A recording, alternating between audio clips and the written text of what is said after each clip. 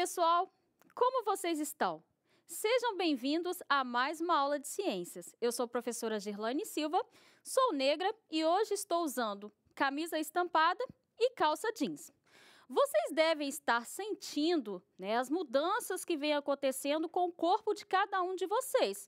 É o corpo se preparando para a maturidade sexual, um processo importante que permite a reprodução e a perpetuação das espécies.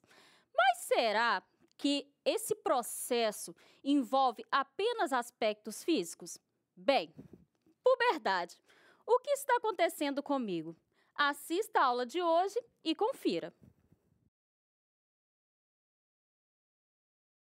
Hum, tô sentindo um cheirinho bom, cheio de saudades da minha infância. Vejam esses desenhos. Quem aí amava? Ah, professora, a gente não é dessa época aí, não. Então, que tal esses? Ou esses aqui? A geração muda e os gostos também, não é mesmo? Mas uma coisa é certa, eu tenho certeza que vocês têm aí alguma coisa que faz lembrar da infância de vocês. Então, vamos ao nosso primeiro desafio. Escolha um objeto ou algo que te faça lembrar da sua infância. E aí, sobre o significado desse objeto, você vai pensar o que, que ele significava para você na infância. Né? Por exemplo, eu tinha uma boneca e era minha amiga, companheira de grandes aventuras. Né? E hoje em dia, o que, que ele significa para você? Por exemplo, a minha boneca hoje em dia é só uma doce lembrança. Né? Vocês sentiram que há uma mudança de significado. Sobre essa mudança de significado, vocês vão pensar: o que será que ocorreu? Por que, que essa mudança ocorreu, né? E vocês se lembram exatamente o momento onde houve essa mudança de significado? Hum, será que isso aconteceu enquanto vocês cresciam e viravam adolescentes? Bem, professora, pode até ser, mas o que de fato seria a adolescência? Bem, a adolescência é uma etapa do desenvolvimento humano entre a infância e a fase adulta. Durante esse período ocorre uma série de transformações corporais, hormonais e até mesmo é, comportamentais. Né? E a fase adulta é atingida quando todas essas transformações terminam. A Organização Mundial da Saúde é, define a adolescência como uma fase de vida que inicia dos 10 e vai até os 19 anos completos, né? E dessa forma, ela vai ser dividida em pré-adolescência, que vai dos 10 aos 14 anos, adolescência dos 15 aos 19 e juventude dos 15 aos 24 anos. Já no Brasil, o Estatuto da Criança e do Adolescente considera a adolescência a etapa que vai dos 12 aos 18 anos, né? E serve como referência para a criação de leis e de vários projetos que vão garantir os direitos dessa população. Ah, professora, então já que a aula é sobre puberdade, então quer dizer que puberdade e adolescência é a mesma coisa? Não puberdade e adolescência não têm o mesmo significado. Deem uma olhada.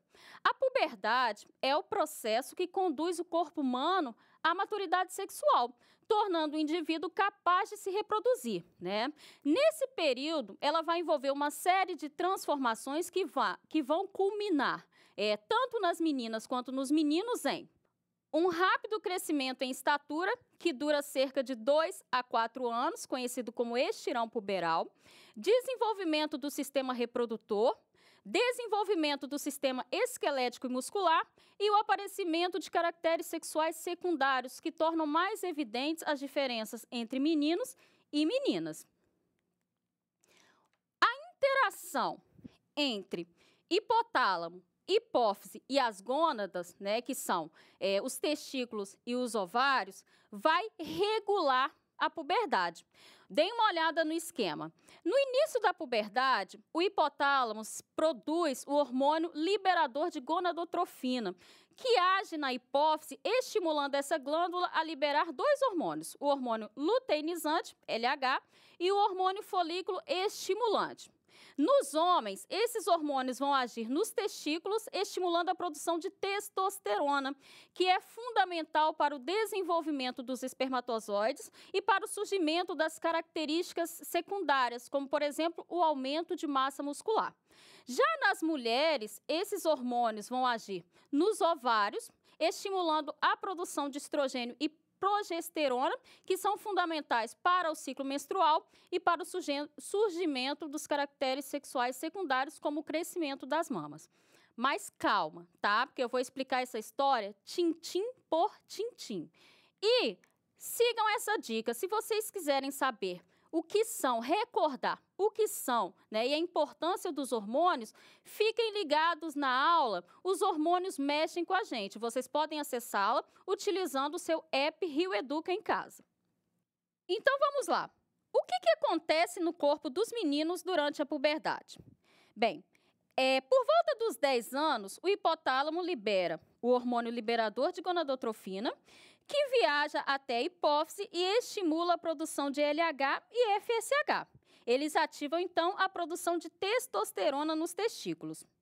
A voz fica mais grave. A testosterona provoca um aumento na cartilagem da laringe, onde se encontram as pregas vocais, que então se alargam. Como a voz se origina dessas pregas, quando ficam maiores, há mudanças no tom, que fica mais grave. Testosterona estimula os folículos pilosos e dessa forma surgem pelos nas axilas, no rosto, no peito e no pubis.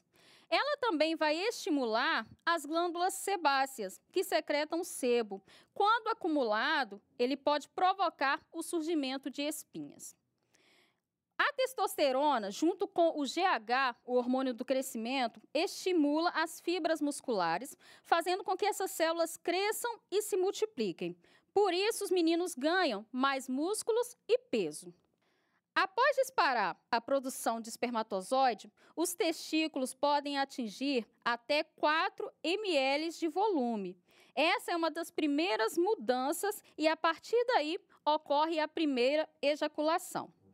O pênis se desenvolve logo após o crescimento dos testículos. É, primeiro aumentando em comprimento e depois em largura.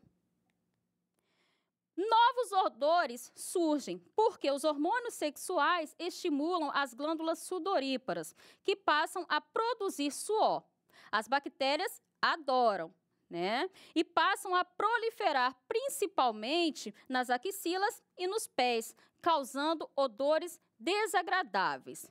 Fiquem ligados no vídeo Fim do CC, que vocês encontram no YouTube, e aprendam a lidar com o mau cheiro causado pelo suor. Bem, na infância, a velocidade de crescimento dos meninos é de 5 a 7 centímetros por ano. Já na adolescência, chega a 12 centímetros. Os hormônios sexuais provocam a proliferação das células e o hormônio do crescimento aumenta a síntese de proteínas. E é por isso que a garotada dá aquela estirada. Durante a puberdade, pode ocorrer o desenvolvimento das glândulas mamárias dos meninos. Deem uma olhada. Esse quadro pode estar relacionado à ginecomastia puberal. É, e as causas né, dessa condição estão relacionadas a hipo ou hipertireoidismo, síndrome de Klinefelter, dentre outros. Essa condição pode causar grande constrangimento nos adolescentes, mas, de uma forma geral, ocorre uma regressão ao longo dos meses. Quando não ocorre, existe a intervenção medicamentosa ou mesmo a intervenção cirúrgica, tá? E fiquem ligados, porque essa condição pode ser tratada gratuitamente pelo SUS. E nas meninas, o que será que ocorre? Por volta dos 8 anos, ocorre a ativação do eixo hipotálamo, hipófise, ovário, que culmina na produção de estrogênio e progesterona. A baixa produção de testosterona mantém a cartilagem menos espessa e a voz das meninas permanece mais aguda. Na presença de estrogênio, as células do tecido adiposo crescem e se multiplicam, principalmente nas coxas, nádegas e na barriga, mas isso varia muito de acordo com o biotipo de cada garota. Nos primeiros anos, o eixo hipotálamo, hipófise, ovários ainda não está amadurecido, por isso os ciclos são bem irregulares. A menina pode ter períodos com fluxo e frequência variados, algumas vezes sem ovulação. Assim como nos meninos, a acne e os pelos ocorrem por causa da testosterona. E se vocês querem ver dicas de como evitar as espinhas, fiquem ligados na aula sobre espinhas e glândulas pelo seu app Rio Educa em casa. O surgimento do broto mamário é o primeiro sinal da puberdade. O estrogênio é o maestro que rege essa transformação, em geral, entre 8 e 10 anos de idade. As meninas também não estão livres dos novos odores, que ocorrem por ação dos hormônios sexuais. Então, as dicas de higiene também servem para vocês, meninas. Antes da menarca, as meninas chegam a crescer até 12 centímetros por ano. Depois da menstruação, elas continuam crescendo em ritmo menor. Agora olhem esses memes é, sobre expectativa e realidade quanto às transformações trazidas pela puberdade. Tenso, não é mesmo? Mas não se preocupem. Adolescentes na mesma idade podem estar em fases diferentes da puberdade. Assim, por exemplo, o corpo de uma menina de 11 anos não necessariamente vai ser igual ao corpo de outra menina da mesma idade. Isso acontece porque o início da puberdade é influenciado por alguns fatores, como fatores genéticos, fatores psicológicos e fatores ambientais, como condição de saúde e alimentação e condições socioeconômicas. Bem, em todo caso, é importante que os responsáveis acompanhem o desenvolvimento dos seus filhos para que condições como a puberdade tardia seja identificada e tratada. É, o atraso na puberdade é, se caracteriza por uma ausência né, de maturação sexual dentro do tempo esperado. Ela pode estar relacionada a diversas condições, como hipotireoidismo, é, doenças renais, dentre outras. Ela pode estar levando a um atraso no crescimento e, geralmente, o tratamento é feito através de reposição hormonal. É, de uma forma geral, a puberdade ela vem ocorrendo cada vez mais cedo. Estima-se que ela venha se adiantando de um a dois anos, né, desde o início do século XX, principalmente nas meninas. Isso pode estar relacionado à melhoria nas condições de saúde e na alimentação.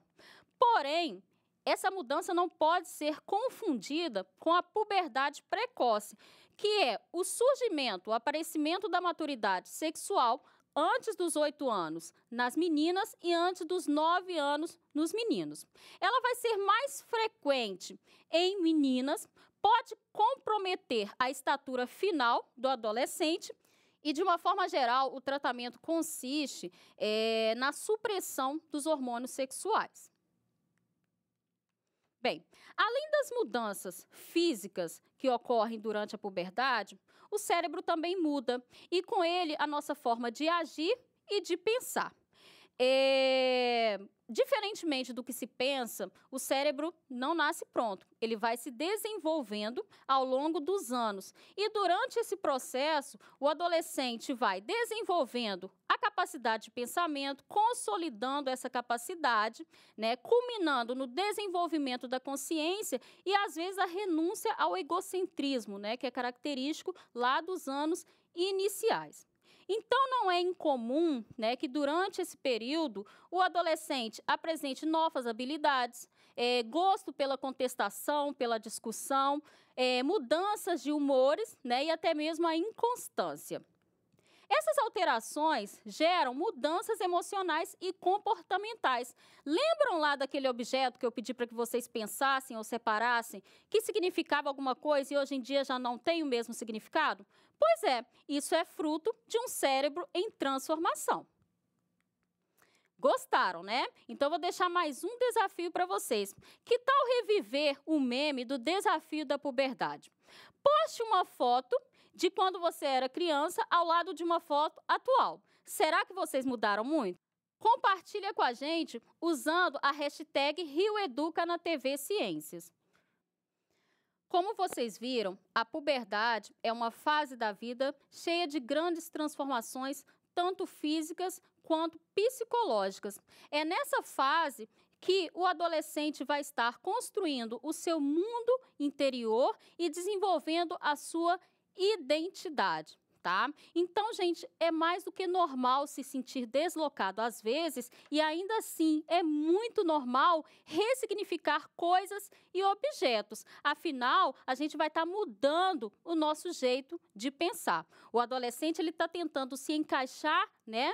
É, pelo fato de não ser mais criança e ainda também não ser um adulto, tudo bem? Então, se cuidem e sejam pacientes com o processo pelo qual vocês estão passando. É a puberdade. Sabe o que está acontecendo com vocês? Vocês estão crescendo. Eu me despeço por aqui. Beijos de luz e até a próxima aula.